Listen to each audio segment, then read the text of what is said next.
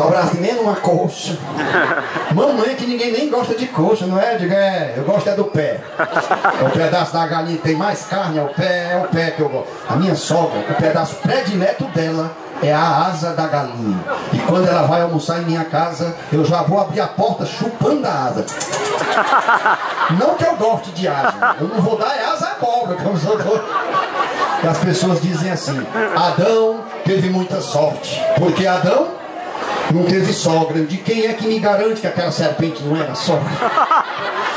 Que maldade! Não é nada disso. Na verdade, na verdade, não é a sogra que bota a catinga no casamento. É não, são os amigos. É, porque quando a gente vai casar, começam logo aquelas piadinhas. Vai se enforcar, bichão. Casamento é como submarino. Pode até boiar, mas foi feito para afundar. Tem deles que comparam casamento e a cadeia. Quando o padre diz, eu vos declaro marido e mulher, ele escuta é desde preso. E se a gente parar para observar, não é que parece? Casamento e cadeia? Parece. Regime fechado. Primeira coisa, o sujeito engorda. Pode receber visitas, mas só em datas comemorativas e marcado com muita antecedência. Regime semiaberto. Você pode sair, mas tem que voltar? Aí quem sabe, na hora.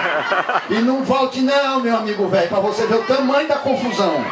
E quando estiver na rua, meu amigo, não vá pensando que você está soltinho na buraqueira. Não. É bom deixar um amigo de vigia, de butuca. Olha a federal, olha a federal.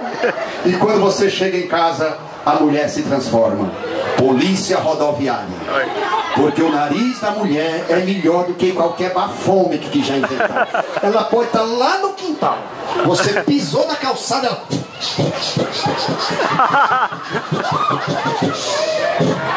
Tu bebeu. E o caboclo velho, para disfarçar o cheiro, fala pro chão, bebi não. Ela ali puxa pelo queixo, bebeu.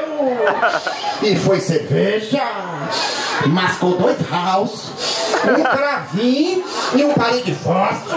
Pra disfarçar o cheiro. Pensa que eu não sei. Não é normal, minha gente. Uma venta dessa não é normal. Só perde para um rapaz que eu conheci. É deficiente visual e vocês sabem quando uma pessoa apresenta uma deficiência em algum dos sentidos, ele acaba aguçando outros sentidos. Chegou no